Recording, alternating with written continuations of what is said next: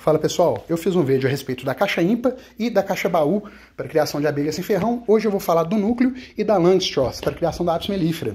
O núcleo é utilizado para alguns manejos, para fazer divisão de caixa, resgate de caixa. Eu vou utilizá-lo como isca, na esperança de que o enxame encontre nele segurança e fartura para que a família possa crescer. Ele tem a capacidade de cinco quadros, os quadros obedecem o mesmo padrão dos quadros do ninho da Langstroth, tá?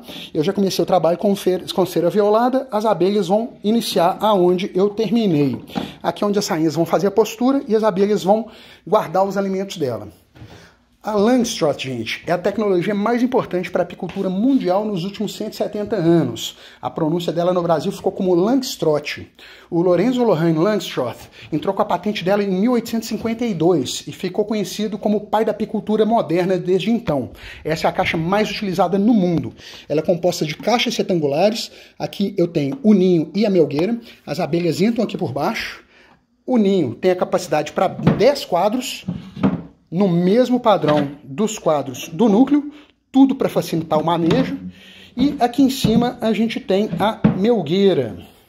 A melgueira tem a capacidade para 10 quadros também. Os quadros têm o mesmo comprimento, mas eles não são tão largos quanto os quadros do núcleo. É, isso aqui fica muito pesado quando está cheio de mel, viu gente? Por isso o tamanho é um pouquinho menor. Essa melgueira tem uma peculiaridade, que é a cavilha para produção de própolis. A abelha produz própolis, entre outras coisas, para proteger, para preencher as frestas da caixa. Então a gente coloca esse quadro, depois de quatro ou cinco dias ele está preenchido, a gente vai e troca por um novo.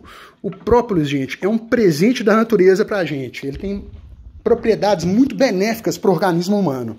Então, a Langstroth ou Longstroth e a caixa núcleo para a criação de apis mellifera.